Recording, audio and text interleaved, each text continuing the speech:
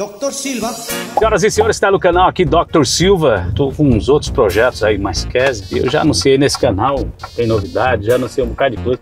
Mas a questão é, é, tempo, entendeu? Quando o cara é desocupado, que o cara não faz nada na vida, entendeu? É um parasita que fica ali sem fazer nada, esperando, entendeu? As coisas caírem do céu, aí dá nisso, né? Mas a gente não, a gente rala pra caramba, né, Kézia?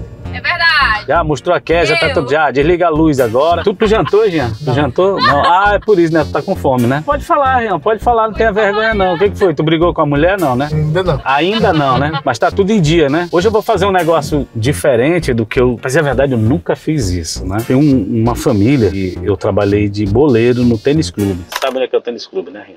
Sim, sim. A Kézia não sabe o que é boleiro. Tu sabe o que é boleiro? Sei porque você me falou. Ah, tá. Tu sabe, Rian, o que é boleiro? Não. Putz. Faz eu também parte, não uai. sabia, só depois que ele explicou que eu Então vamos lá. A história não contada. Não contada. Não contada. Os bastidores. As músicas que marcaram. Que marcaram. Que marcaram. Como tudo começou. Começou. Como eram e como estão agora. Como estão agora. Sem meias palavras. Meias palavras. De uma forma direta. Direta. Você cantor e compositor. Falar. De maior repercussão do dance nacional. Dance nacional. O ritmo que conquistou o norte do Brasil. Bem-vindo. Bem-vindo. Eu sou o Dr. Silva. Eu sou o Dr. Silva. Dr. Silva, la mayor revelación de danza nacional. Dr. Silva. Eu trabalhei no tênis clube em Porto Velho e eu trabalhei de boleiro. Quando eu entrei lá, foi até interessante porque consegui um emprego no tênis clube e era para mim trabalhar de boleiro e ganhava mais naquela época. Aí eu entrei, trabalhei seis meses. Aí o cara que tinha me contratado, né, falou: E aí, rapaz, beleza, beleza. O cara foi lá no clube curtir com a família e viu lá eu mexendo nas flores, né? Eu nunca contei isso pra ninguém. Seis meses trabalhando, era para me trabalhar de boleiro, eu tava trabalhando de jardineiro. Quer dizer, me colocaram num cargo de jardineiro lá, eu cuidando do gramado. E na realidade não era aquela minha função. Depois de seis meses, o cara que me colocou lá viu que eu era jardineiro e não era, era pra mim ser boleiro. E o que que é boleiro? Boleiro, pelo menos aqui em Porto Velho, quando eu entrei, que eu não sabia também, é aquele cara que quando tem um jogo de tênis, aí o cara fica segurando a bola, fica lá no, no sol quente, né? O cara rebate a bola e você tem que dar a bola sempre pro jogador, né? É um negócio meio estranho dar a bola pro jogador, né? E os caras que jogam tênis, pô, tinha que sempre que ser no sol quente. E como aqui em Porto Velho é um sol para cada habitante, então aí eu trabalhava, velho, era um sol quente dos infernos. Eu chegava lá às 7 da manhã, mas os caras só jogavam tipo 11 horas até 3 da tarde. Teve várias situações que eu tive náuseas, ou seja, enjoo. Aí teve uma família que me ajudou muito, cara. Fez parte do meu passado. Teve muitas pessoas que me ajudaram e essa família em especial me ajudou muito, né? Eles cuidavam do lanche lá do tênis clube. Era uma época cruel onde bicicleta para mim pro tênis clube para casa não dava, então às vezes eles me vendiam salgado fiado.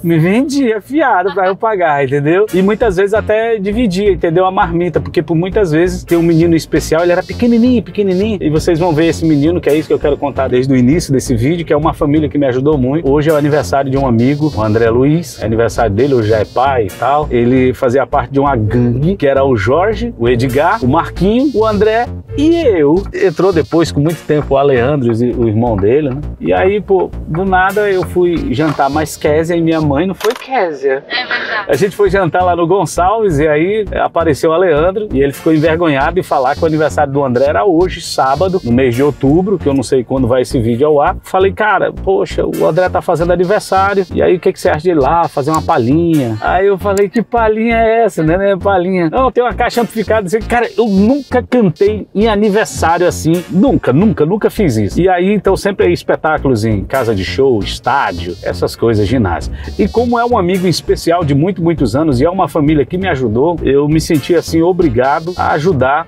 hoje no aniversário do André. Não tô levando nem o refrigerante, não estou levando. Rapaz, tá lotado Tá falando levando- de você tá levando duas bocas a mais. Aí eu, assim, né, eu tô levando o Rian, que depois eu vou mostrar pra vocês, assim, o prejuízo.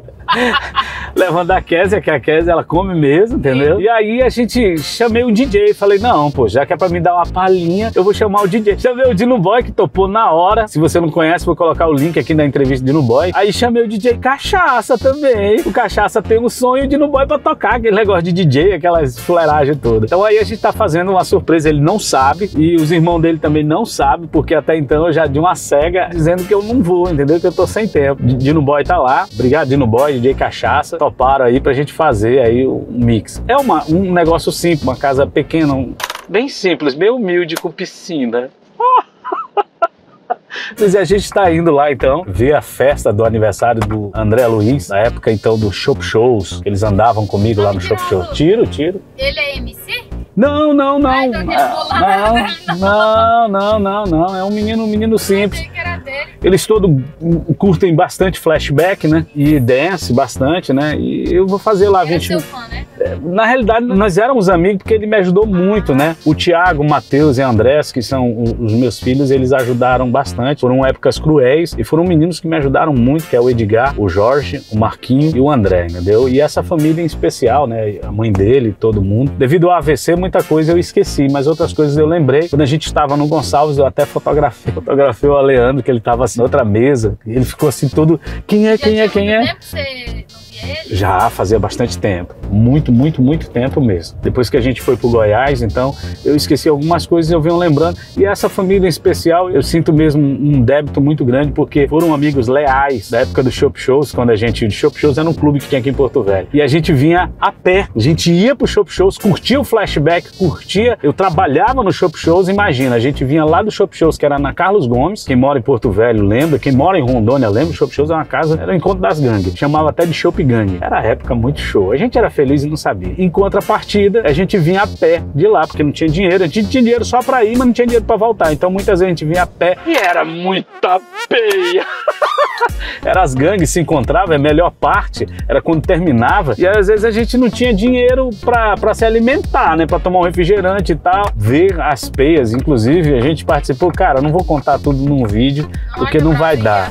Não vai dar. O Rian já tá sem, sem respirar, que ele tá mudando de um, de um braço pro outro. Mas olha, eu espero que vai ser muito legal um vídeo que eu preciso registrar, porque foram pessoas realmente que me ajudaram no passado, em ocasiões até mesmo, tanto o André, o Jorge, o Marquinho, o Edgar, eles mesmos, eu espero que eles assistam esse vídeo, porque esse canal Dr. Silva não é para ganhar dinheiro, são para os meus fãs e documentar partes da minha vida, né? Guardar memória para as futuras gerações, para Karina assistir, para os meus filhos assistirem e verem. E essa é uma parte da minha vida que eu já tinha esquecido. Sério mesmo, eu peço até desculpa à família do André, porque eu não dava para lembrar. E eu encontrei o Aleandro, cara, e por coincidência eu tinha o Aleandro ainda salvo na minha, na, na minha lista de contato. Foi surreal. Tava lá, lembrei dele na hora. Tem algumas coisas que não dá para lembrar. Kézia já presenciou pessoas que eu encontro por aí e eu não consigo lembrar. Em especial, eu espero que seja legal. É, é, que você goste desse vídeo. É um vídeo simples. Tenho certeza que você vai gostar pra caramba. E a gente tem que fazer isso em vida, né? Homenagear as pessoas em vida. Eu não quero que ninguém fale de mim, ah, o doutorzinho, tem que falar em vida. Eu já falei isso em vídeos anteriores. Eu tenho que falar agora, que o Rian não vale nada, né, Rian? Tem que falar agora, né, Rian? Na cara, né? Porque depois que morreu, vai fazer o quê? Vai fazer o quê? Vira santo? Vai, vai, não, vai postar lá no Facebook. Vai em paz, meu amigo, né? Falsidade. Falsidade do satanás, velho. Eu tenho uma raiva disso. Muitas pessoas me pedem, ei, pô, o fulano morreu, vamos fazer uma homenagem. Mas por que, que não fez uma homenagem quando o cara tava vivo? Isso é normal. Não, não é normal, não. Isso é falsidade, pô. E depois que inventaram o Facebook, Instagram, aí todo mundo faz isso, cara. Todo mundo faz isso. Então eu quero que a pessoa fale em vida, pô. E eu tô documentando a minha vida, muitas coisas que eu já passei e coisas que eu continuo passando por aí. Ó, tô de volta na leste, eu saí da Zona Leste, mas continuo consumindo na Zona Leste. E em contrapartida, o que, que eu vou dizer pra você? Não lembro de muitas coisas de minha vida. É, vida e mexe, a Kézia já viu. Eu peço desculpa das pessoas, porque eu encontro algumas pessoas, não sou muito de sair. Ei, fulano, lembra de mim? Eu não lembro. Não sei. Me perdoe, mas não sei mesmo. E a gente tá chegando aqui no Socialista. Há muito tempo que eu, eu morava no Socialista. Eu morava no Socialista de trás do campo de futebol, conhecido Princesão. E agora eu volto novamente no Socialista, que ele curte muito flashback. E o Aleandro pediu para ir lá fazer uma palhinha. E a gente vai lá fazer uma palhinha e eu espero que você goste. Então, solta o play, DJ. Você foi embora sem dizer o porquê.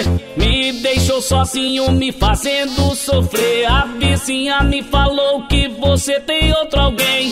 Quando tava contigo, eu não quis ninguém. Agora eu tô sozinho e vou te falar. Eu nunca lhe traí, mas agora eu vou mudar. Preste bem atenção no que eu vou dizer. Porque esse aqui não vai sofrer por você. Se aparecer uma casada, eu vou pegar. Eu